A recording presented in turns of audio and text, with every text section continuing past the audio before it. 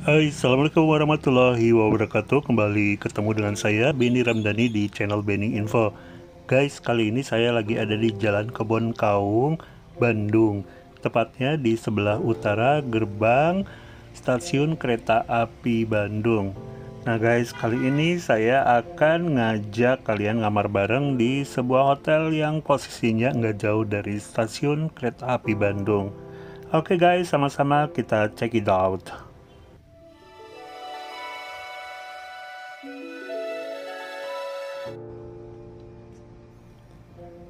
Ya, sekarang kita lagi ada di sebuah lobby hotel. Kita ikuti protokol kesehatan ya, ingat. Rajin-rajin cuci tangan pakai hand sanitizer, pakai masker udah pasti, dan jaga jarak. Well, ini dia lobbynya kelihatan luas ya. Ada beberapa furniture yang terlihat sudah ya bukan zamannya mungkin ya kalau buat saya ini lobbynya gede banget apalagi untuk hotel bintang 2 ya. Jangan-jangan dulunya hotel ini hotel bintang 3 malah ya. Apa terus turun kasta? Wah nggak tahu juga. Oke okay, guys. Gimana lobbynya? Kayaknya nampung kalau ada rombongan datang ke sini mendadak banyak gitu ya satu bis gitu. Nggak bikin rusuh. Sayangnya kursi atau sofa buat duduk-duduk tamu di lobi ini kelihatannya kurang ya.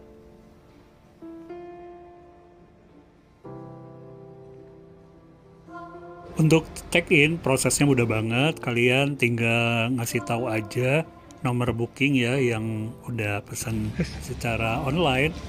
Kemudian menyerahkan ID card alias KTP. Hmm. Kemudian kita akan diminta mengisi formulir dan menandatanganinya guys ya semacam formalitas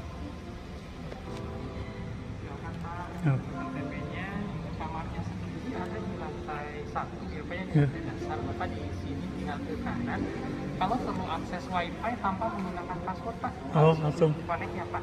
Ya. Jadi di bawah ya. Di bawah pak, ke kanan aja. Hmm. Oh, ya. Ya. Makasih ya.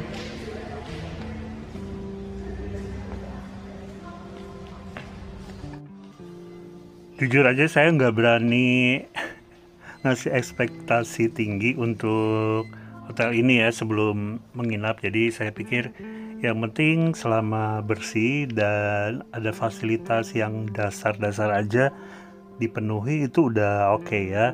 Apalagi harganya kan cuma 200 ribuan.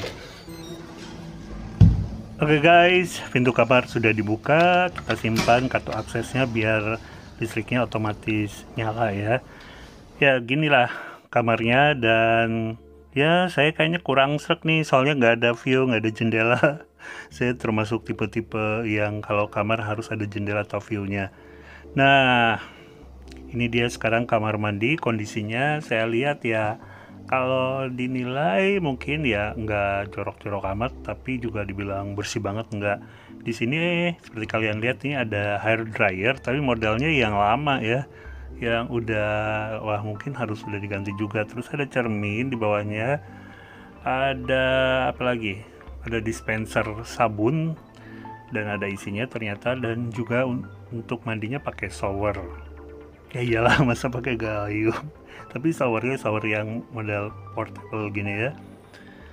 Dan di bawahnya nggak ada keran untuk wudhu atau ngetes air.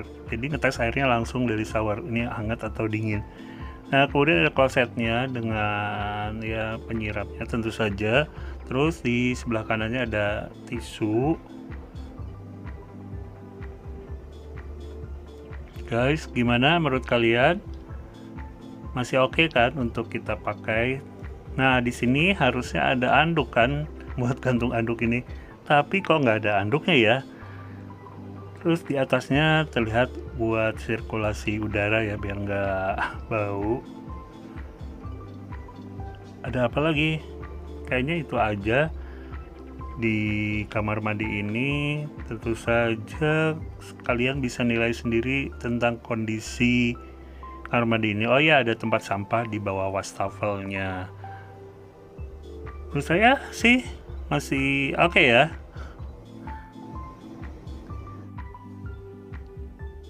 Nah sekarang kita langsung masuk ke kamarnya Di kamarnya itu nggak ada lemari Tapi ada gantungan bajunya seperti ini Di dekat tempat tidur Kemudian ada cermin kecil panjang seperti hiasan Tapi bisa buat ngaca Dan di samping tempat tidur itu ada rak Ada bukan rak ya meja Meja kecil.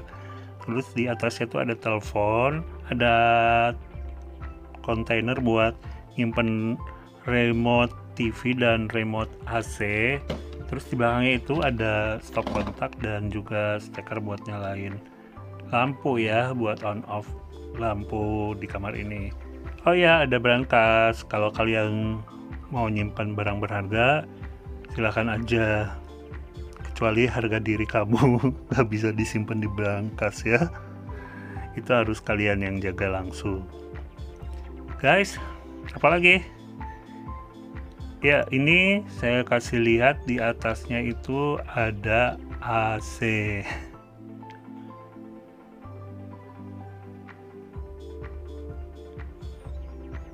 Nah, di bagian atasnya juga ada seperti biasa ada petunjuk arah kiblat.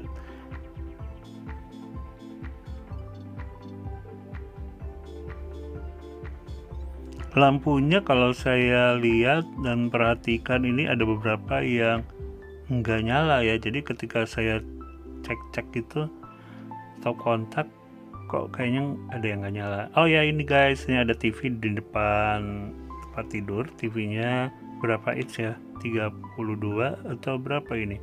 Yang jelas uh, masih nyala ya TV-nya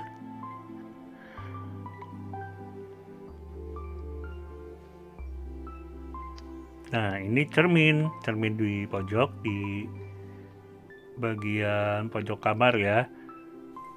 Ya, cerminnya menurut saya lumayan gede ya. Ini dibilang cermin rias kegedean, dibilang cermin full body ya kurang sampai bawah. Jadi serba nanggung sebenarnya kalau untuk jenis-jenis cermin kekinian ya. Kemudian di bawah cermin itu ada meja di atas mejanya itu ada air dalam kemasan botol plastik terus ada kettle listrik dan ada gelasnya. Nggak ada yang lainnya ya guys. Nggak ada apa namanya hmm, kopi teh gula yang kayak gitu-gitu. Terus ada meja ada tempat sampah dan ada kursi buat kalian duduk-duduk santai di kamar hotel ini. Kursinya ini bukan kotor ya ini jenis eh, bahan kursinya yang sepertinya kotor tapi padahal enggak bersih asli loh bersih nah guys sekarang kita cek tempat tidurnya. Ya ini ada tiga bantal. Bantalnya ternyata ya lumayan lumayan bisa dipakai. Enggak keras tapi dibilang yang empuk-empuk banget ala hotel bintang 45 gitu enggak juga. Terlihat bersih dan enggak ada masalah untuk dipakai tidur. Oke guys, saya cari-cari. Sebenarnya anduk yang nggak ada di kamar mandi tadi dan ternyata nggak ada juga di dalam kamar ini. Kan biasanya disimpan di atas bed gini ya, dua gitu ya. Tapi ini nggak ada, misterius banget tuh anduk. Nah guys, kamarnya ini gede banget, jadi kalian kalau mau sholat bisa di dalam kamar cukup lega kok. Juga ranjangnya dipakai buat sendiri ya kegedean karena ini ranjangnya king dia gede tidur juga enak sambil nonton TV juga oke okay. Ya guys sekarang waktunya saya kasih review aja walaupun tadi udah sambil nge-review sebenarnya.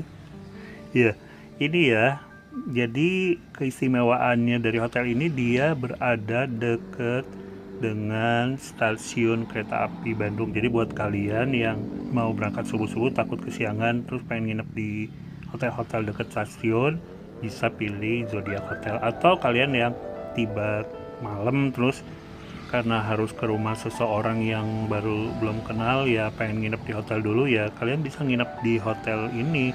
Sebenarnya sih nggak satu-satunya ya. Hotel ini tuh banyak banget di sekitar Jalan Kebun Kawung, apalagi daerah Pasir Kaliki.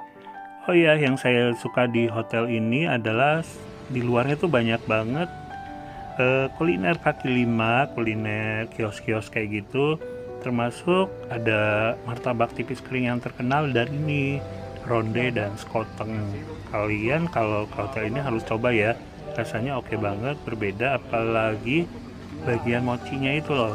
Ronde-rondenya itu enak banget. Oke, sekarang saya bahas tentang WiFi-nya di hotel ini. WiFi-nya kalian bisa akses gratis ya, dan ini dia kecepatannya. Guys, saya review dikit tentang interiornya. Kalau menurut saya interiornya di hotel ini sebenarnya udah cukup-cukup aja sih untuk kelasnya. Tapi akan lebih bagus lagi kalau misalnya diperbarui ya baik di lobi, di gang, atau di dalam kamar itu sendiri. Karena menurut saya kalau malam gini kelihatan muram gitu, entah karena kurang pencahayaan atau memang interiornya udah terbilang lawas ya. Padahal kan ini hotel masih satu grup dengan Kagum Group ya. Mudah-mudahan hotel-hotel Kagum Group bisa membenahi diri supaya kita-kita nih yang nginep di sini lebih betah lagi. Nah, kayak di dalam tempat tidur gini nih, desainnya kan ini lama ya. Oh ya, satu lagi AC-nya. AC-nya menurut saya ini udah jadul karena berisik banget dan dinginnya tuh nggak gitu kerasa, guys.